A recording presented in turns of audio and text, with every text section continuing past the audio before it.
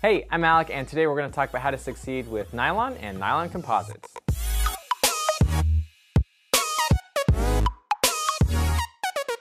Nylon is one of the most common plastics in consumer products, and there's a good reason for that. Its material properties make it an excellent choice for durability.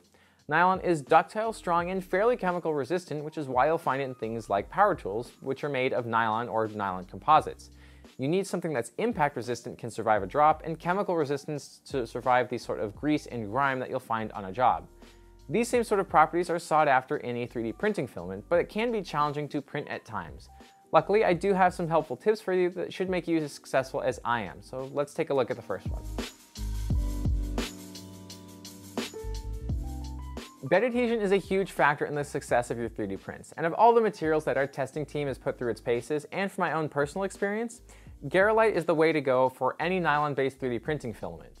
Of all the other materials that we've tested, they just don't seem to have the texture or adhesive properties that nylon seems to like. But Garolite has small pores in its surface that help the molten nylon actually mechanically lock into it instead of just adhering to a sticky surface. When you pair that with a thin layer of PVA glue stick to help prevent the nylon from sticking too well to the Garolite, you can have perfectly flat bottoms to your nylon or nylon composite 3D prints.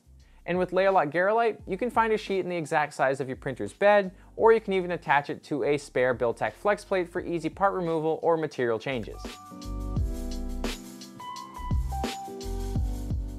To print with nylon, you need an all-metal hot end. Nylon has a printing temperature with the bottom of the range at 245 degrees Celsius.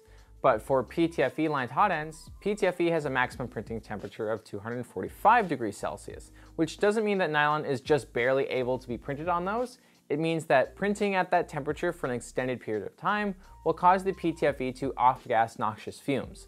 So PTFE cannot print nylon. If your printer already has an all-metal hot end by default, or you upgraded your 3D printer to have one, then you have all the hardware requirements needed to be able to print with nylon but you need to make sure that your nozzle is ready if you're going to be printing any of the abrasive materials like carbon fiber filled nylon X, glass fiber filled nylon G, or Kevlar filled nylon K. While there are stainless steel nozzles that are described as abrasive resistant, these nozzles don't usually last more than a couple spools before the orifice of the nozzle becomes too large to be reliably used.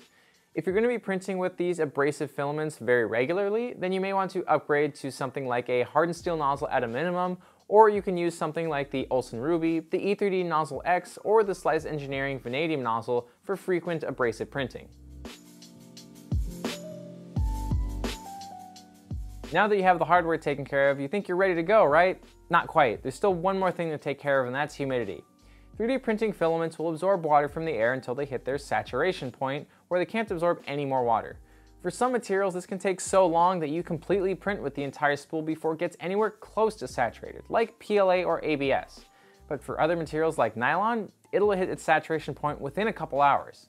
What you'll want to do is dry out your nylon before you ever use it, or in the best case scenario, print directly from your drying apparatus. Personally, I just print directly from the PrintDry because it makes it easy by actively removing the moisture from the environment around the spool and then from the filament itself and with small ports on the side, you can print directly from it.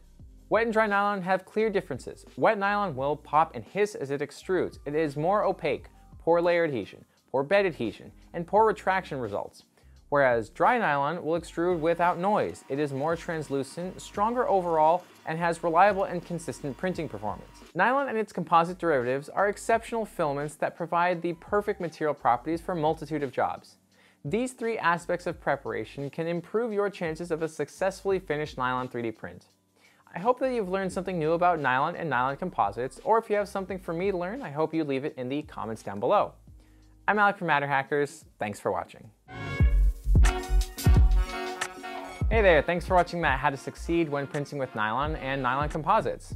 Over the years, I've really learned the importance of making sure all of my materials are dry, and I hope that you've learned that lesson as well. If you want to stay up to date with all of our digital manufacturing content, be sure to click subscribe, or if you want to read some in-depth articles, you can go to matterhackers.com.